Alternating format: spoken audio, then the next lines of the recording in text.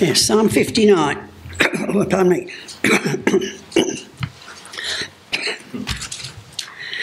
Deliver me from my enemies, O God. Be my fortress against those who are attacking me. Deliver me from evildoers and save me from those who are after my blood. See how they lie in wait for me. Fierce men conspire against me for no offence or sin of mine, Lord. oh, pardon me. I have done no wrong, yet they are ready to attack me. Arise and help me. Look on my plight.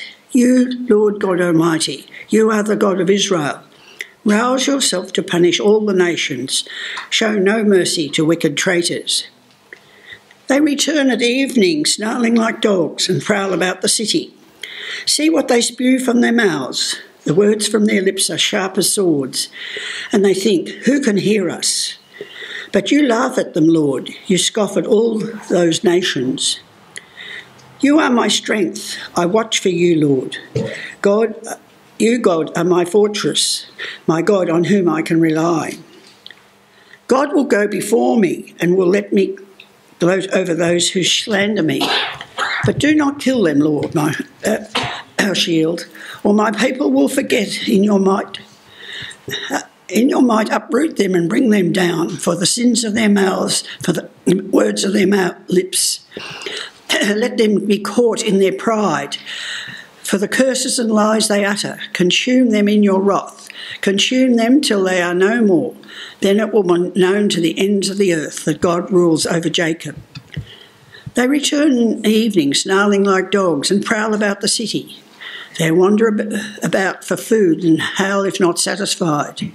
But I will sing of your strength. In the morning I will sing of your love. For you are my fortress, my refuge in times of trouble. You are my strength. I sing praises to you. You, God, are my fortress, my God, on whom I can rely. This is the word of the Lord. Well, it sure has been an interesting time these last two years. It's been the end of the world every day for the last two years.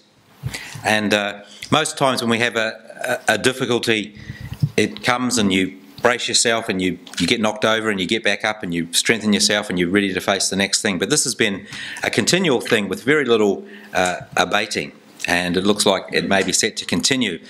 Uh, and it reminded me of what David was going through. He was under attack, and it was a sustained attack, and it was reaching a, a, a peak, but there was more to come. Uh, this uh, we don't always get the reasons why the Psalms were written, but we are told that there's a certain point where this was written.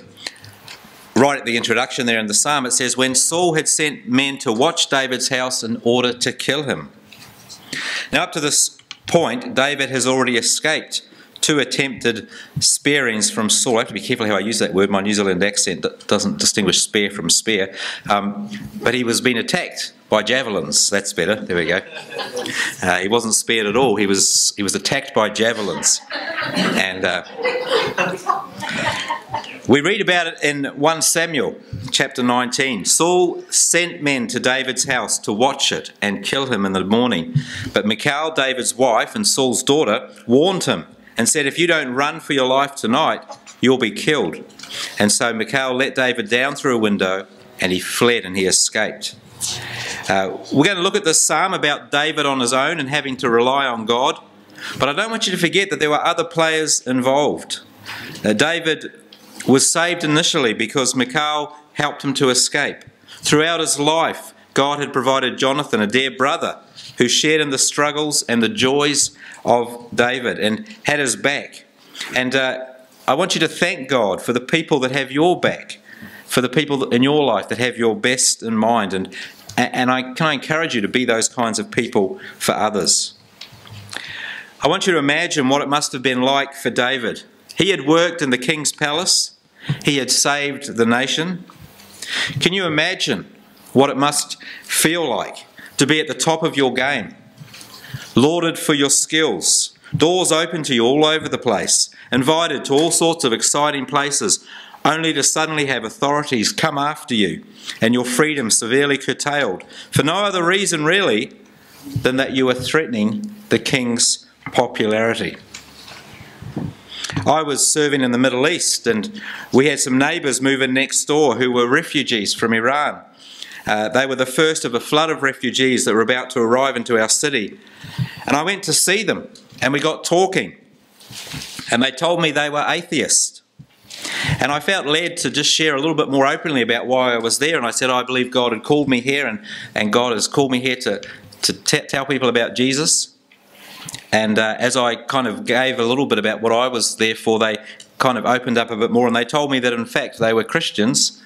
And he, when he was in Iran, used to ride his bicycle around and throw Bibles and Jesus films over high fences into people's properties. And he got wind that he was in trouble and they were going to about to put him in, him in jail and his family. And so he got in the car, got their belongings, and, and drove straight to the school where his children were, put them in the car, and without telling them why, just drove. And they drove all the way to Turkey and uh, never went back. Uh, that's the kind of fear that David is under. Uh, for David, it wasn't just the danger that all these people were after him, but that it was being directed. Think of who was directing all this. It was directed by his near relative, his boss, the king, that, that he'd served loyally, and the leader of the land. Uh, this was the pain of true betrayal, the type you get when your own family won't see you or return your gifts. Uh, places you used to frequent and voluntarily serve are closed down to you as if you don't exist. Uh, David suddenly found himself on the altar from the very people that he had served. Uh, in these types of circumstances, you can do two things. You can get angry with God because you, you're not being treated fairly and actively, uh, or, or, you can um, actively withdraw or passively withdraw, just kind of shut yourself off. Uh, but we mustn't forget that Jesus too was betrayed and not treated as he deserved. God understands. Uh, or you can turn to God. Instead of turning away from God, you can turn to God, believing that there is no other hope or help left. And it's not just that He's all you have, but He's the best you have. We've sung about that this morning. Not just your last, but your first port of call. Charles Spurgeon, a great speaker who uh, spoke in the uh, 19th century, he said this God is too good to be unkind, and he is too wise to be mistaken. And when we cannot trace his hand, we must trust his heart. When you are so weak that you cannot do much more than cry, you coin diamonds with both your eyes. The sweetest prayers God ever hears are the groans and sighs of those who have no hope in anything but his love. I've had the privilege of, of uh, being a pastor and having the opportunity to talk to people about their darkest moments when they've faced burdens that are too big for anyone to, to bear, and often more than one at a time. Everyone around them either abandons them or is unable to help. And they speak to me of when they've had to take a leap over the cliff into the, to the invisible at that stage arms of God because they've got nothing else left to lean on. And it is then that that God shows himself to be more present, more real than they've ever known. And sometimes you hear people say, uh, in contrast to that, you hear people say, Oh, don't worry, God won't give you more than you can handle. Now, I don't know if you've ever heard anyone say that. Uh, well, that's baloney. That's not scriptural. Whoever said that hasn't really lived or ever talk to anyone deeply about what they've had to face in life.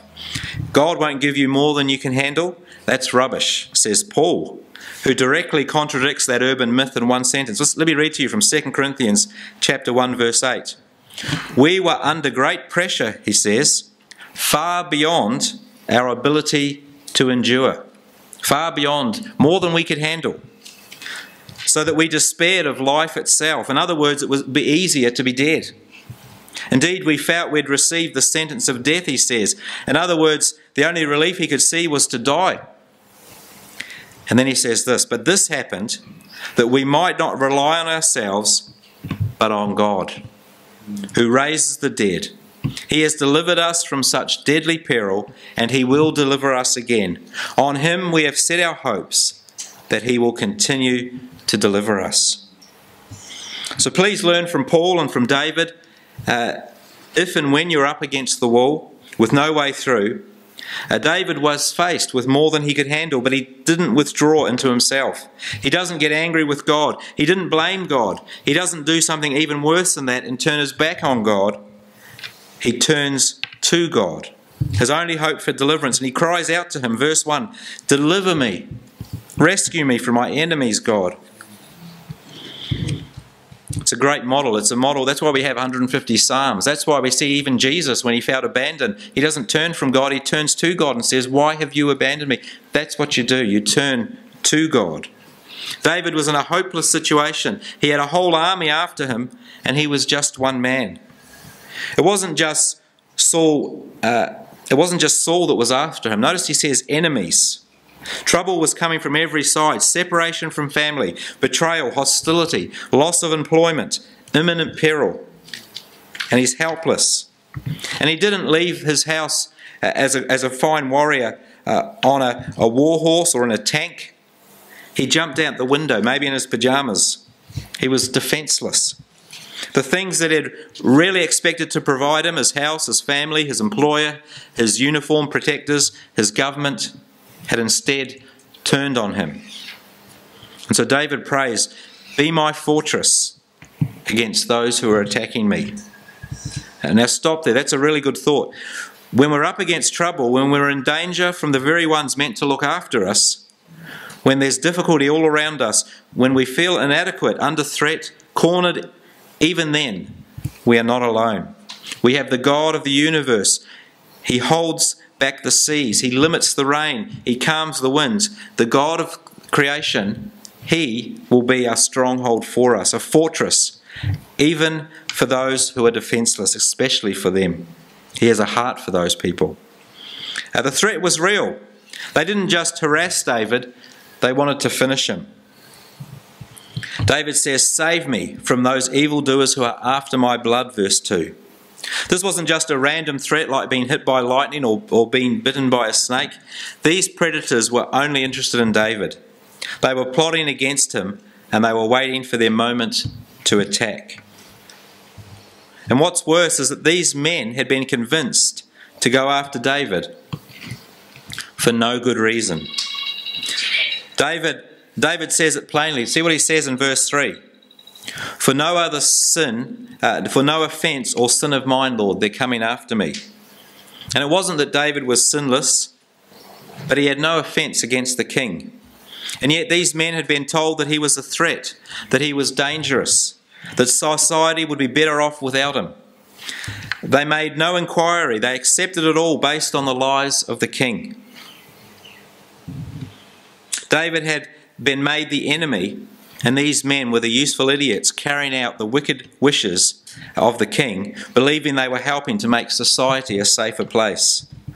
To achieve this kind of persecution of a harmless, innocent, indeed noble person, Saul couldn't do it by himself. He had to convince a whole lot of people to do the dirty work for him. Unlike Saul's daughter, Michal, or Saul's son, Jonathan, who really knew David and were not easily swayed, these men had been convinced that David was a menace despite the obvious facts. And so David says in verse 4 I've done no wrong, yet they are, they are ready and willing to attack me. His homeland was arrayed against him, and David was in a perilous position. And he says, God, arise, look at my plight. David couldn't believe it. These men he had served alongside, these are men he had defended and saved uh, when he had taken on Goliath and the Philistines. These men had seen him faithfully serving and comforting the king with his music. Uh, it'd be like turning on Willie Nelson and calling him the threat of America. Uh, it was just, it was so, uh, it was so crazy. And and David was not just fa- facing the attack, but the betrayal of those he had served alongside. They were tormenting him now. And, and through the king and his cohorts were against him. And though that was all coming on him on every side, uh, David knew he could go above the king. He could go to the King of Kings.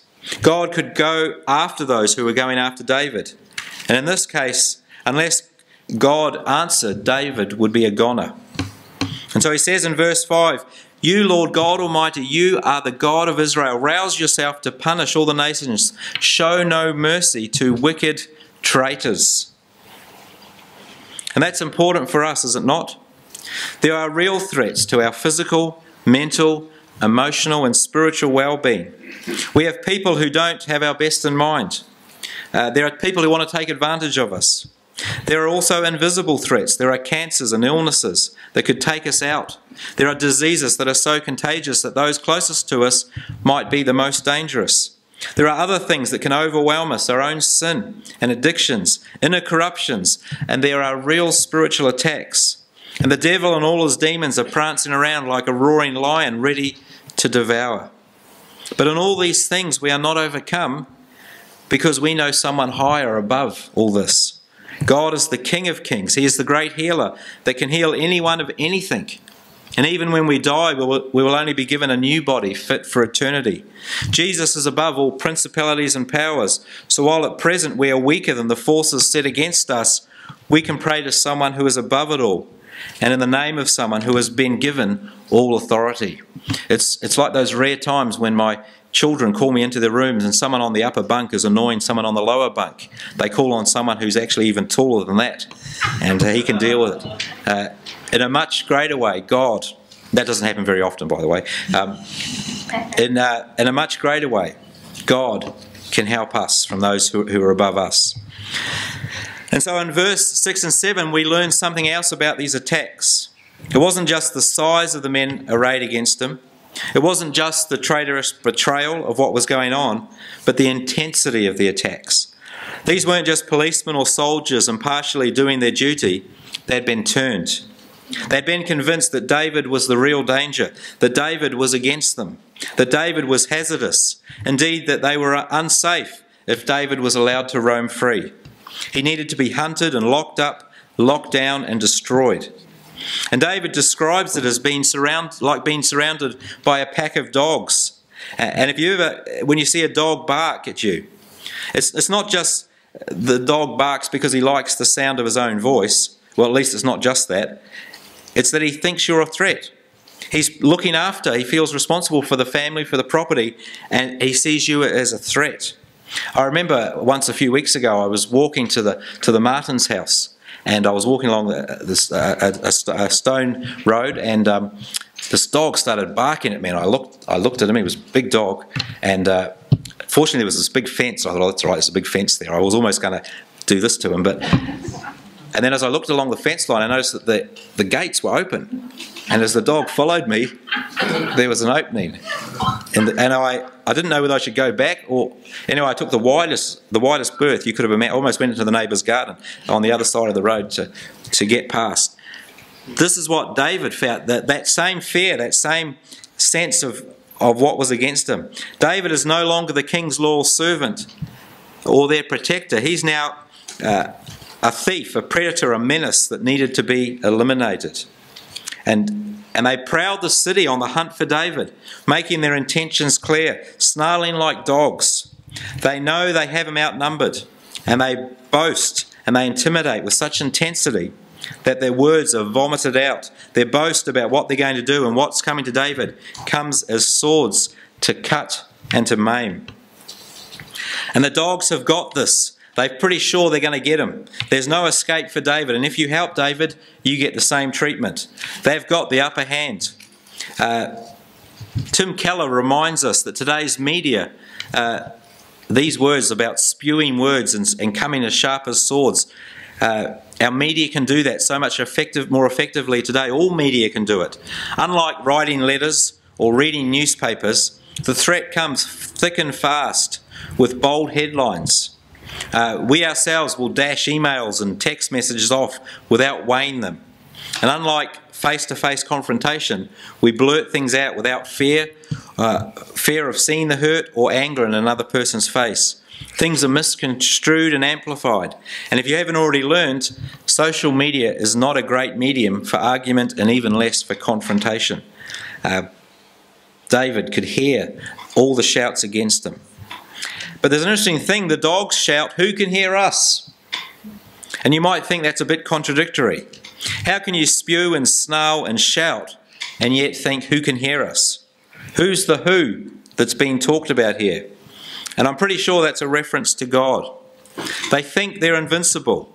They think the odds are set in their favour. They think that nothing can touch them, that they can live as they please without thought and reference to God. They've got the king's backing.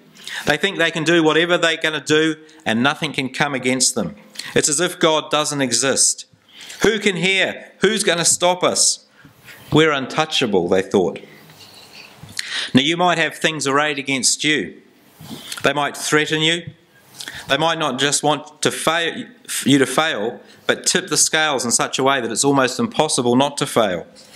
They just don't just wish bad things on you, but they do bad things, plotting and scheming to take you out. The devil rides on their back and amplifies the trouble, empowering them and making you cower. And all you can do is take it to God. And say, like David in verse 7 see what they do, look at what they're up to. And how does God respond to the situation? Does he say, oh, I'm not interested or I'm busy? Or, yes, it's a real problem. I was hoping you would know how to fix it. Or does he say, whoa, I didn't realize it was that bad. I'm out of here. God doesn't do that. He does something surprising. He laughs. Not at you, but at them. He laughs because they think they're invincible. He laughs because they think they know how it will all work out. He laughs at their arrogance and he laughs at their confidence. Verse 8, David says, You laugh at them. He laughs because he sees. You remember the story of the Tower of Babel? Uh, these people the tall, built the tallest building that ever had existed. They marveled at what they were able to achieve. And in verse 5 of Genesis 11, it says, The Lord came down to see what they were up to. It's, in other words, in heaven, he could, it was hardly a blip. He People, there's something happening there. I'll go down. And he had to go down to see what this thing was. It was so little. He had to go down to see what was going on. Uh, he laughs because he knows. There is no surprise. You can't ambush God. And he laughs because he's sovereign and he's powerful. Is the Lord's arm too short? Moses asks. God is so powerful and so sovereign that he can take what is meant for evil and use it for good. For so many people uh, who have brought their, deeper, the deepest and, and hardest difficulties to God, for those who have scars, God doesn't just heal, uh, and I know many of you can testify to this, He uses your very scars as one of the most effective tools of ministry to others and to the glory of God. As, as, as uh, it says in Genesis 50, you intended to harm me, but God intended it for good.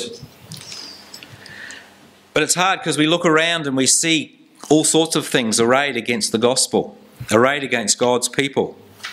Uh, even this, this virus, there's, there's talk that it was made in a lab and accidentally released. Uh, there's, there's governments and pre- premiers who are overreaching and others who are not doing enough. And, and we, we, we feel like there's the, the, the, who's in charge, we keep asking.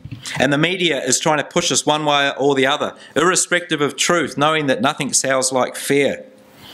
And, and the media tries to herd us along with certain ideas that get promoted and other things that, that would be helpful are, are, are hidden. Uh, I feel it's as bad as it's ever been, but I was reading Winston Churchill, and he would he would complain that the, the media, which had a, a bias towards Germany, they liked Germany before the war. That the media was quite quite favourable to, to, German to the German uh, movement, and they would uh, minimise the, the bad things and they would amplify the great things. Uh, and what about all these powerful forces working together? Uh, Ten years ago, the left was against big business. Do you remember the shut down Wall Street protests and all that? Uh, now, and, I, and, I, and you can array them. You've got you've got big business, big tech, big pharma, the media, social media, political and social causes, and even the government, and they're all singing from the same book. I don't remember a time in history when everybody, all the big powers, were all on the same side. Uh, and then you've got the rise of China to worry about.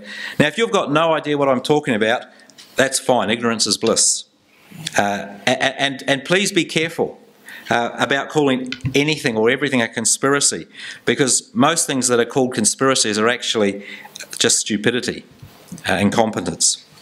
Uh, but for those of you who have noticed these things, it's easy to think that the bad guys have the upper hand, that the dominant powers are making everything worse, that good is being portrayed as bad and bad is being portrayed as good, that the world is going mad except for you and me, and I'm not even sure about you. Uh, but look at what God does. As you worry about all that and you look to that and you see probably more than you wish you'd seen, Lord, says David, you scoff at those nations. You scoff. In Psalm 2, David talks about how all the nations conspire and the peoples plot in vain. The kings rise up and band against the Lord and against his anointed, the Lord Jesus. And they think they've got the victory. And, and God's response in verse 4 He sits in heaven and he laughs. The Lord scoffs at them. David takes strength in that, that the Lord scoffs, because he knows how it ends. And so it means that whatever is arrayed against you, whether it be obvious as a slap in the face or whispering behind your back, whether it be bold schemes of big organizations or even the hidden things of a deep state, whether it be the demonic, demonic, uh, demonic co- coordination of bad actors or the damage of sheer incompetence. Remember this and hear it well. God is never surprised, never rattled, never reeling, never thrown, never overwhelmed, never worried. No matter what news you receive, God heard it before you. He knew it was coming. And so, if God is not slapping his forehead with shock, wondering how this could have happened, then we don't have to either. If God is so comfortable that he can laugh, uh, we can have comfort in that. And so, at the heart of this psalm in verses 9 and 10, David remembers the God he knows. And he begins by declaring that his strength was in God, or even that God was his strength. That where that's where he's enabled to go on. His strength was not in himself, but in another person, the Lord his God. And this same God, verse 9, was his fortress. So God provided for him, but also protected him. And because of this, David would watch for his God. He'd be looking to see what God would do and what God was doing and what God wanted. You are my strength. I watch for you, God. You are my fortress. Some of us look at the stock market, others the COVID numbers, some the letterbox, some emails, and others social media, looking, looking for, for hope. Uh, others the news. And we check all these things, hoping that we'll pick up signs of improvement or signs that we're turning a corner. And sometimes these things turn in the right direction, but much of it is cyclical and ultimately disappointing. I don't know if it's a good time for any of these things at the moment, but David's eyes were elsewhere. He was looking for his God for the simple reason that when you believe in an eternal God, that God is sovereign, all knowing, all seeing, all powerful, then there is only one horse worth backing if you're a gambler. Um, you can say with David, You are my God on whom I can rely. And David goes on to trust that he will get the last laugh, that whatever evil is arrayed against him, God will go before me and will let me gloat over those who slander me. I will tell you um, not to be ruled by fear because there's nothing to fear. Uh, sorry, I, am telling you not to be ruled by fear, not because there's nothing to fear or that no one's going to get hurt. I tell you not to be ruled by fear because the love of God drives out fear. That there's something bigger that, than all the worries that plague this world, real or imagined. That even if you die, Jesus has taken out the sting of fear, and we as God's children are no longer to be ruled by fear. There is no fear in love, but perfect love drives out fear. This is not triumphalism that has taken hold of much of the church. That if you speak boldly enough, if you tell God what's what, then since you're a king's kid, then God is beholden to your great faith. Uh, that's not a biblical idea. Our boast is not based on ourselves, but on our God. Our confidence is not that nothing bad will ever happen to us, but that God is sovereign and He causes all things to work together for good for those who love Him. And so in verse 11, David asks God to humiliate them but not to wipe them out because people quickly forget when God delivers us, we, we take it for granted. And sometimes when God removes these things, we get cocky and forget the threat. Uh, and yet, by verse 13, uh, even with that initial thought, he realizes they need to be taken out. And he says, Consume them in your wrath, consume them till they are no more. And you might think this is uh, this kind of talk is unbefitting for a man of God, that it almost sounds like revenge and vindictiveness. But when you have people literally trying to take you out, when you see oppressors crushing, or just taking advantage of the vulnerable and the needy, when you see children being taken advantage of and being persuaded to turn down dark paths, when you feel the terror and the threat of what is evil and, and, and see what evil does, and, and if you're not stirred by that, you're not human, you're not one of God's children. God hates that. And these type of psalms take a fresh revel, re, re, relevance in this time. But more than that, David reveals his main goal in verse 13. The main reason he wants his perilous enemy taken out spectacularly is that it will be known all over the earth that God rules. He wants God to be glorified. That's his, that's his, his goal. And so David is lifted out of his fear and despair by focusing on God. The very real and present threat, though, comes back and flashes before his eyes again. And he goes back to his, his worries. We see it in verse 14. He goes back to talking about these dogs that are all around. Uh, he was looking to God and then he sees the waves.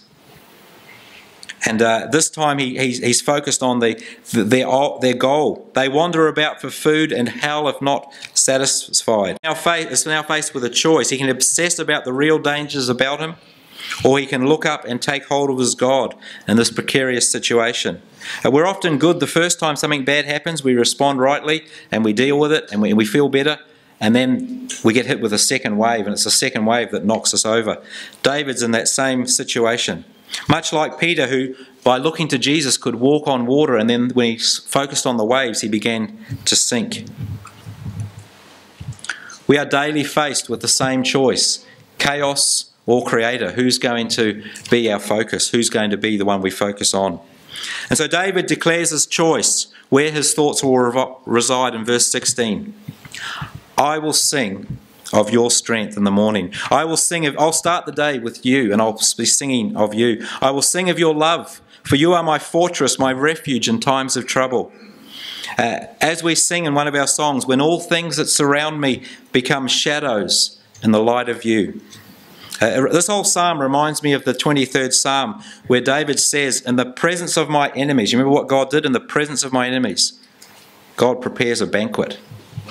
Uh, God prepares a banquet for us in the middle of our turmoil. Notice how three times in this psalm David uses the word sing. You are my strength, I will sing praise to you. You are my God on whom I, I rely. I will sing, I will sing, I will sing. You can't just think internally when you sing. You have to vocalize it. You have to declare something. There's courage in singing. There is defiance. Defiance in singing. God's people even dare to sing at funerals. We don't sing at this church just for a change of pace or to have a break from other activities or just to teach some theological ideas. I hope you notice that the songs are chosen deliberately. We're intentional when we sing. Sometimes we declare, other times we marvel. There are songs of prayer that we pray straight to God Himself. And as we do all this, our minds are moved and focused on our great God and His mighty acts. You can see those dogs around you, uh, including the ones that come through your screens, and you talk back. And you say, You can snarl, but I'll sing. You can attack me, but I'll look to God and I'll sing of Him. And I hope you're intentional when you sing, not half hearted or held back. I hope you take time in your own devotions to sing and speak words out loud. Get yourself an old hymn book and, and, and read one of the hymns of the faith out loud as part of your morning preparation. Some of their tunes are awful from the really old ones, but the words are marvellous. Get one and, and, and, make it part of your devotions. If it's got a nice tune, sing it as well. Uh, singing is spiritual warfare. In the name of Jesus, in the name of Jesus, we have the victory. In the name of Jesus, in the name of Jesus, demons will have to flee far away. In the mighty name of Jesus, tell who can stand before us. In the mighty name of Jesus, we have the victory. And so I want to finish just by reading something that Martyn Iles wrote. Uh, he's, he's often able to see what's happening and says it first before everyone else says it. And he, I just saw that this this week, and uh, he's supposed to be on holiday, so I don't know what he's doing. But anyway, he said this. He said, "Everywhere I look, there is insecurity, anxiety, and fear. I can't believe how many are in the grip of this misery. But then, if it were all up to me, I might fear too. If the world was a random incoherence of chance events in time and space, if it was all up to me to dodge the troubles and find the safe paths, I think I'd struggle, and often. But this is not so. The world is under control. And the one who controls the world knows my name. He has written it down for safekeeping. And as he controls the world, he does so without forgetting me or you. The true Christian lives with this unshakable certainty and it changes everything. They have a quietness and a confidence about tomorrow because tomorrow is in better hands than theirs. It seems to me that this witness to a stressed out world, a witness of peace, could become one of the strongest witnesses a Christian can have. It's not like this fearfulness is going away. Our society was descending into a growing vortex of depression and anxiety before COVID even came along. But I am concerned that this fearfulness has knocked too many of us around. If you have lost this peace, then you have lost your way. God says you will keep him in perfect peace, whose mind is stayed on you, because he trusts in you. Let us pray.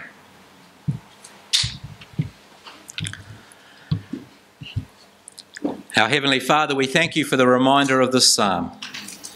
Though the enemy and the opposition is real, above that, you, the great, unchangeable, all seeing, all powerful, all knowing God.